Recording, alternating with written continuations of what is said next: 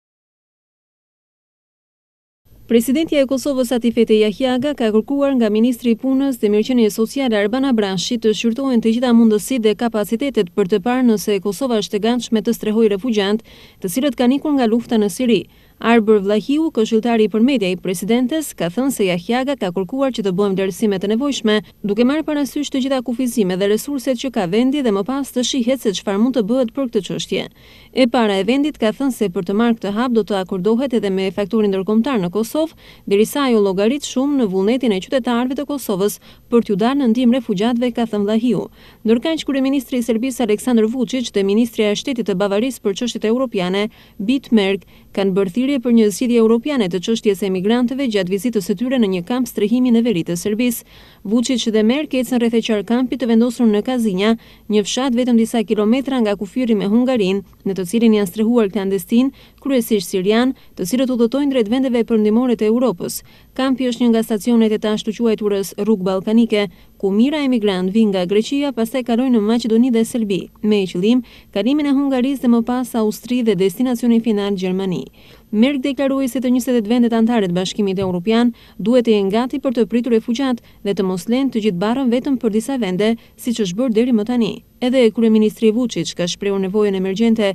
për një plan gjithëpërfshirës për emigrantët, duke u shprehur se pas pesëmbëdhjetë shtatorit, kur kryeministri hungarez Orban të ndryshojë rregulloren, situata do të jetë shumë e rëndë. Vetëm të mërkurën në kampin Kanjiza arritën një mijë e shtatëqind emigrantë. Por ata qëndrojnë vetëm disa orë për t'u nisur më pas drejt kufirit hungarez, që prej ngritjes së këtij kampi tre javë më parë, në të kanë kaluar njëzet e nëntë mijë klandestinë.